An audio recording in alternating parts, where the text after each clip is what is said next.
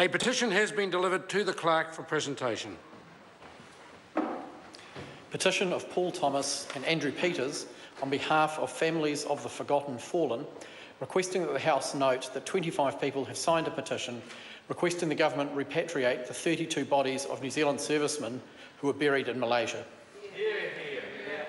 That petition stands referred to a select committee allocated by the clerk. A paper has been delivered for presentation. Independent Police Conduct Authority Statement of Performance Expectations 2016 to 2017. I present the report of the Controller and Auditor General entitled Education for Māori, using information to improve Māori educational success.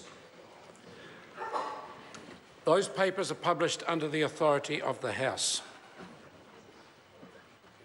A Select Committee report has been delivered for presentation. Report of the Finance and Expenditure Committee Supplementary Estimates of Appropriations for the year ending 30th of June 2016. The clerk has been informed of the introduction